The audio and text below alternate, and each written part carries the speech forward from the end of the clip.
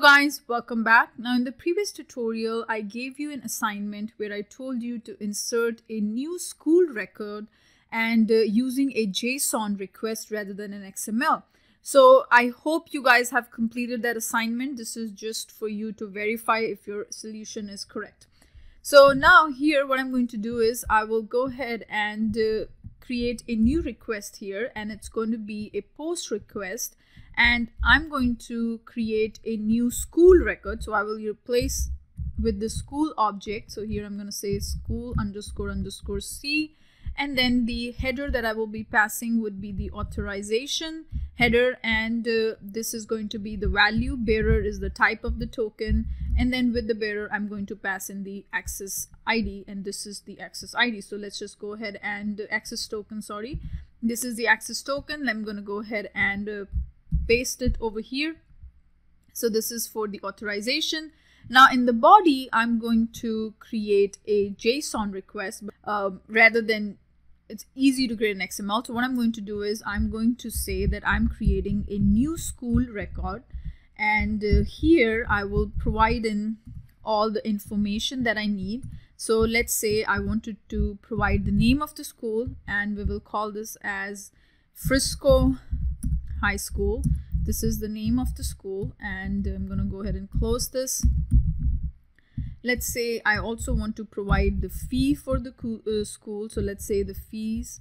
Uh, I'm not sure about the field. So let's go back to the school and click on edit object. And here you will get all the fields and the relationships.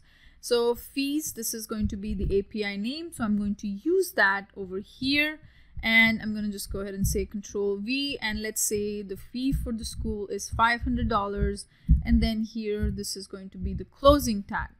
Similarly, let's say I wanted to pass the uh, other information, let's say school email address. So here I will go back and paste that field API name over here and then here I'll say frisco at gmail.com okay and let me just go ahead and say Frisco High School at gmail.com. This is their email ID and then let's just go ahead and close the tag here. And then the next thing is if you want to pass in the phone number, you can do that. So let me just go ahead and copy this field label, the API name, and then paste it over here and then provide the phone number as well 789-654-3333 and this is going to be the school phone number. So now I've provided all this information but I asked you to create a JSON request. So what I'm going to do is I'm going to go to this free formatter which converts my XML into JSON. So I'm just going to go ahead and paste it over here and then ask it to convert it. And here you go it automatically converted saved me time. I'll go back to my body of this message and I'll convert it and put it here as JSON format and then I will change the body type from XML to JSON. Now if I go ahead and hit the send button, it said that this is the new record that it created. The response came as 201 which is good. Now if I go back to the school records here, so let me just go back and if I go to the schools, you will see a new school got created called Frisco High School and this is the fee for the school. This is the email address and the phone and this is the name of the school.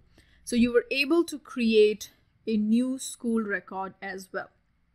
Now in the next tutorial we will create a custom rest web services. So we will see how to create a custom REST web services because so far we have been using the existing APIs, the REST APIs that have been already given to you by Salesforce. All we did was we called them from Postman. But in the next tutorial, we will actually go ahead and see how to create your own custom REST service. Okay, so we will go ahead and talk about that in the next tutorial. So I will see you then. Thank you.